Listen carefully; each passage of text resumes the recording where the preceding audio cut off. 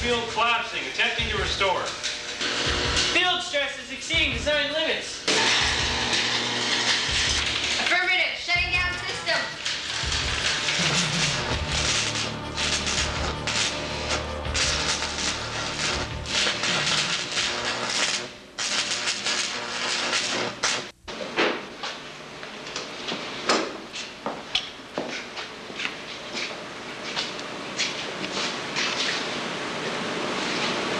Worth a try. Come on, Dan, this ain't going anywhere. It will. It will. I'm telling you guys, we are on the verge. Dave's right, Dad. Oh, Jean-Marc, you believe in what I do, don't you? Dan, I believe in the possibility of bringing somebody from another quantum reality, but we just can't do it. We can. I'm, I'm sure of it. You know, I just have Dan, to. listen, I know how much you wanted this, but I just don't think it's gonna happen. I guess it's unanimous. Ed, don't look at me. I'm just here because you asked me to, and that's as far as it's gonna go.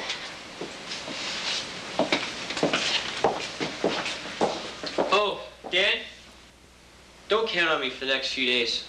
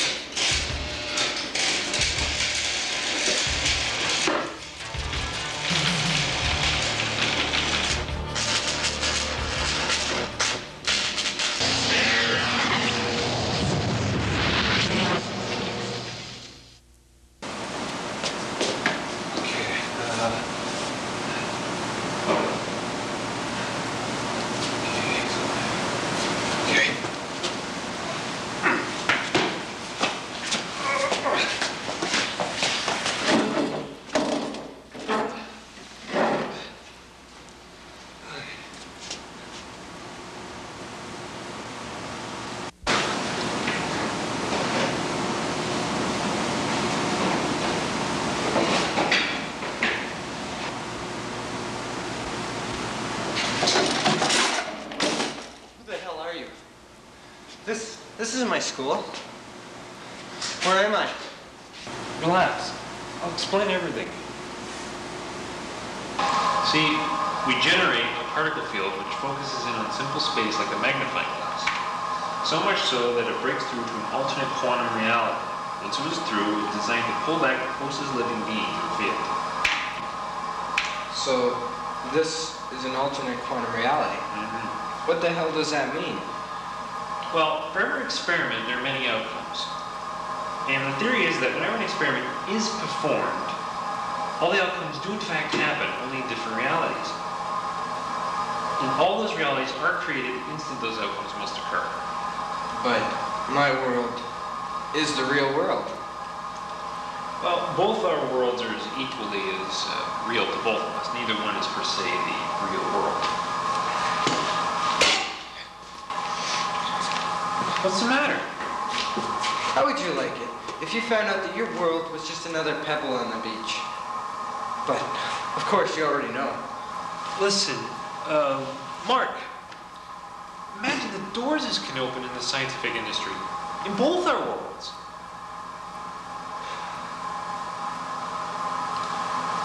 Like I said, this is the way it's always been.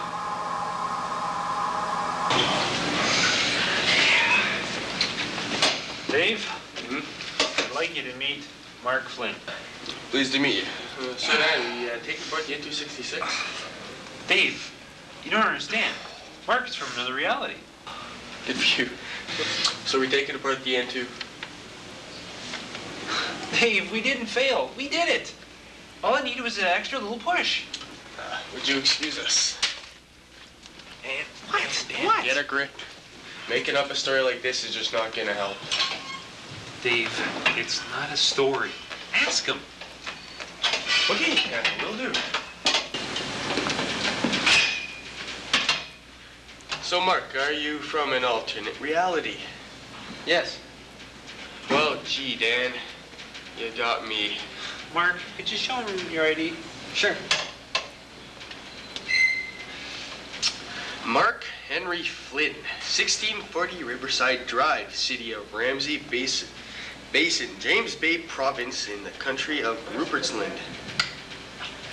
Well, whoever you are, you and Dan sure must have gone through a heck of a lot of trouble to come up with this ID. Dave, it's not fake. Well, if you will excuse me, I must be going. Pleasure meeting you, Mark, or whoever you are. See you, Dan.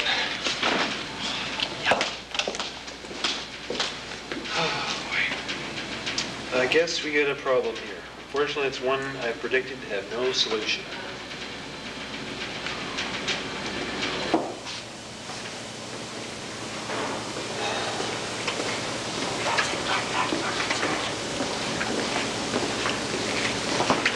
Ben, what makes you think they'll believe you? Because they're more open-minded.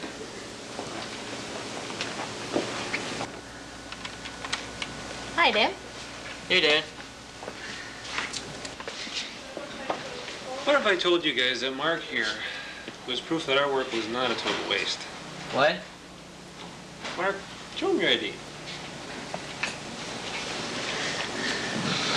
Dan, you know perfectly well that this, it's easy to make a fake ID. Honestly.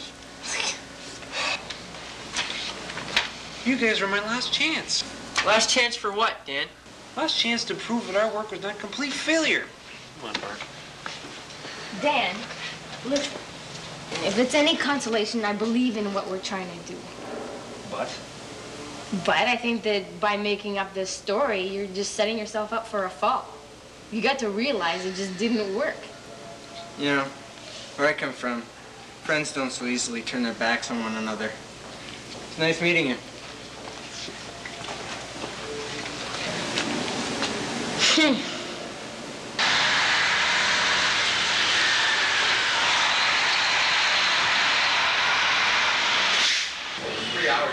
I'm telling you, Chris, none of the others believe me, and all of it's true.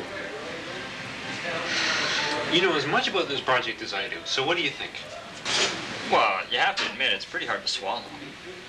But I know, I know. Well, where is this guy staying, anyways? He's staying in my apartment. He's got nowhere else to go. So, what do you think? Well, he's not from here, gotta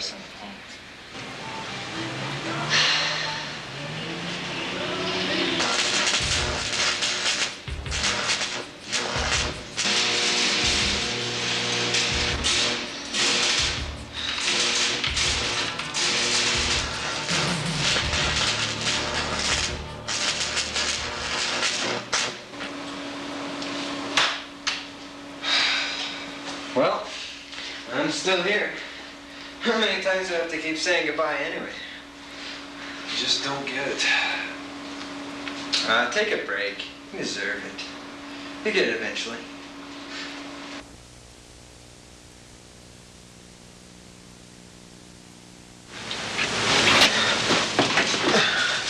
What is that? That's the Enterprise. I'm a show about Star Trek. Star Trek. Wasn't that some cheesy show they canceled back in the 60s? Here, it's one of the world's biggest science fiction phenomenon.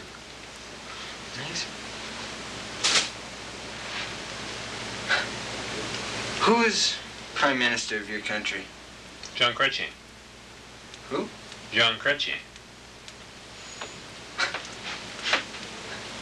In mine, we'd never let someone from another country be Prime Minister of our own. Quebec separated. What? Oh, nothing. It's just so amazing, you know, being able to learn about an alternate version of history. Yeah.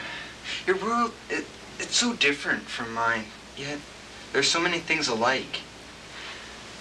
It's been a peek through a looking glass. I just hope I can look back through.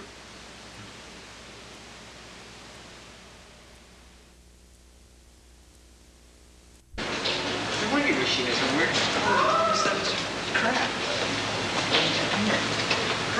All the best stuff is made in Japan. Amazing. Hey, Dave. Oh, Hi. Oh, nothing personal, but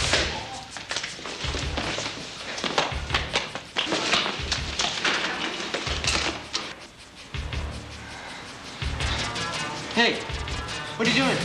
Let me up. Uh, what? You first. I'm who I told you I am. If you don't like that, you can just let me go.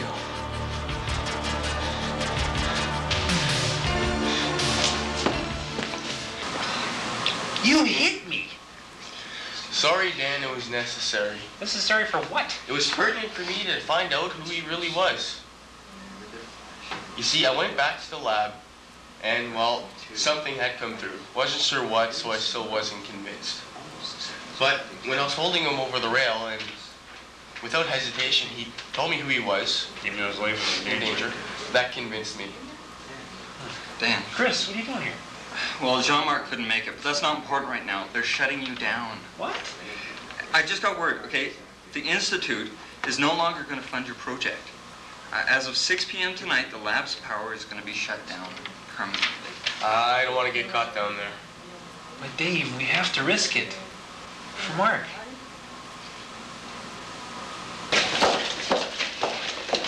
It's probably locked. Yeah, we'll see. No, no, got it.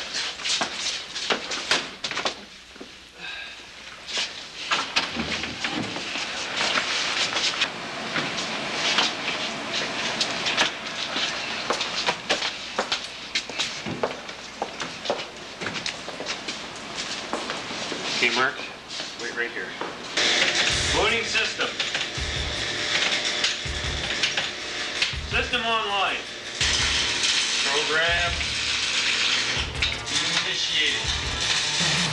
Generating focusing field.